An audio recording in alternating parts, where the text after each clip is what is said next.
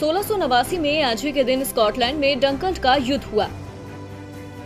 1790 में आज ही के दिन जनरल मिडोस की अगुवाई में ब्रिटेन की सेना ने तमिलनाडु के डिंडीगुल पर कब्जा किया। 1842 में आज ही के दिन तस्मानिया के शहर होबर्ट की स्थापना हुई। 1914 में आज ही के दिन जर्मनी की सेना ने बेल्जियम के टेमेंस पर कब्जा किया। 1915 में आज ही के दिन प्रथम विश्व युद्ध में इटली ने तुर्की के विरुद्ध युद्ध की घोषणा की। 1931 में आज ही के दिन पंडित विष्णु दिगंबर का निधन हुआ। 1938 में आज ही के दिन इटली में सार्वजनिक और माध्यमिक विद्यालयों में यहूदी शिक्षकों के पढ़ाने पर प्रतिबंध लगा।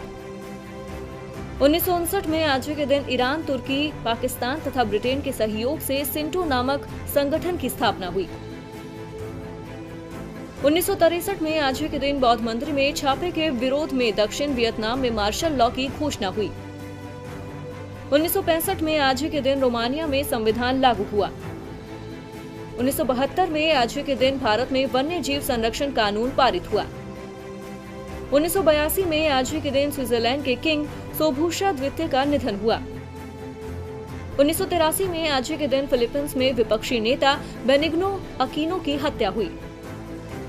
1986 में आज के दिन दुनिया के सबसे तेज धावक उसेन बोल्ट का जमैका में जन्म हुआ। बोल्ट तीन बार ओलंपिक स्वर्ण पदक विजेता हैं। वर्ष उन्नीस सौ चौरासी में कार्ल्स लुइस के बाद 2008 के ग्रीष्मकालीन ओलंपिक की तीनों दौड़ें जीतने वाले और तीनों दौड़ों में विश्व रिकॉर्ड बनाने वाले बोल्ट पहले व्यक्ति बन गए। इसके साथ ही वो वर्ष 2009 में 100 मीटर और 200 मीटर स्पर्धा में ओलंपिक खिताब पाने वाले भी पहले व्यक्ति बने।